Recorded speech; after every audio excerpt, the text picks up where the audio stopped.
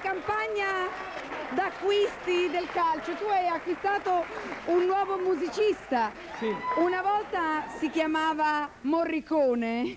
Ade- volta. una volta, adesso come si chiama? Si chiama...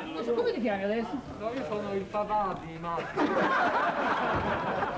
Bene, grazie.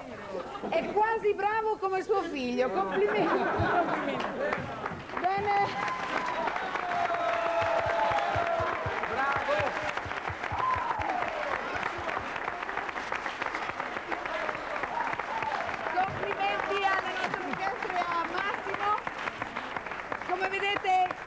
Con spirito concludiamo questa puntata di Domenica